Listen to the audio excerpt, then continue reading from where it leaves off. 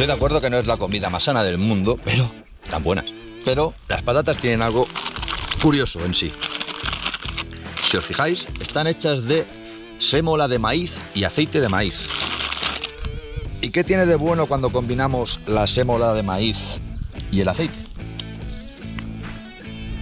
Que obtenemos una yesca que en caso de que todo esté mojado nos permitiría poder encender un fuego.